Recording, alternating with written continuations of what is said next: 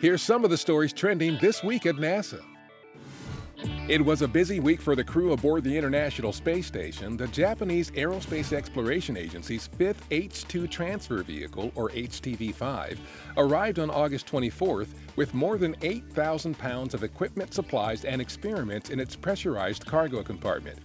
The delivery included an investigation that will search for signatures of dark matter, as well as enough additional food and supplies to last through 2015. Four days after HTV-5's arrival, Expedition 44 crew members, including NASA's Scott Kelly, undocked their Soyuz spacecraft from the station's Poisk module and moved it to the aft port of the Zvezda service module. The relocation cleared Poisk for the arrival of Expedition 45 Commander Sergei Volkov and visiting crew members Andreas Mogensen and Aidyn Aimbetov, who are scheduled to launch to the station on September 2nd. On August 26th, a test version of NASA's Orion spacecraft, dropped by a C-17 aircraft about 35,000 feet above the Arizona desert, touched down safely despite engineers causing two of its parachutes to malfunction on purpose. Orion's parachute system is a critical part of returning crews to Earth following future deep space missions. This was the next to the last test before evaluations begin next year to qualify the parachute system for crewed flights. NASA's Rising Seas events provided a global outlook on current conditions and future projections of sea level rise. Over the course of several days, NASA experts discussed field work conducted on the Greenland ice sheet this summer, new satellite views of sea level changes around the world, and other data used in the latest scientific assessment of this worldwide environmental issue. Researchers around the world use NASA data captured from the vantage point of space to tackle tough questions about sea level rise and other ways in which our planet is changing. A remembrance ceremony was held on August 27th at NASA's Michoud Assembly Facility in New Orleans to mark the 10th anniversary of Hurricane Katrina.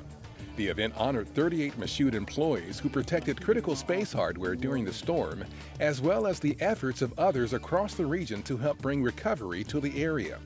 A remembrance was also held at nearby Stennis Space Center in southern Mississippi, featuring retired U.S. Army Lieutenant General Russell Honore, commander of Joint Task Force Katrina. Michoud and Stennis have and will continue to play critical roles in helping NASA achieve its space exploration goals. At Langley Research Center, a series of crash tests with a Cessna 172 aircraft concluded on August 26th with a simulated tail-first crash to test the onboard emergency locator transmitters. The devices are installed on general aviation and commercial planes to transmit a location signal in the event of a crash. The research is funded by NASA's Search and Rescue Mission Office at Goddard Space Flight Center. On August 25th, the flight backplane for NASA's James Webb Space Telescope arrived at Goddard Space Flight Center on schedule for the observatory's 2018 launch date. The backplane is the spine of the telescope and one of its most crucial components, responsible for holding its 18 hexagonal mirrors and its instruments steady while the telescope peers into deep space. The scientific successor to NASA's Hubble Space Telescope, the Webb will be the most powerful space telescope ever built. Astronomers using the Hubble Space Telescope have found that two central black holes whirling about each other power Markarian 231, the closest galaxy to Earth that hosts a quasar.